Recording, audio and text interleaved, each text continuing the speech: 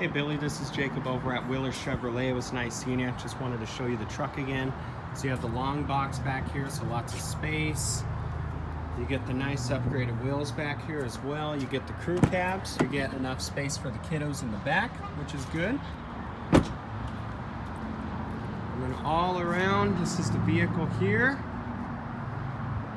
So Aaron and I were thinking, you know, if you're maybe colorblind, if we can work the price out of something like this at work. So maybe we can help you out. And then here's the interior as well.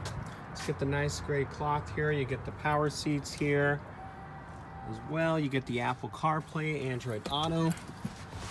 So your information up front here and your big touch screen. So lots of space for the truck here for you as well.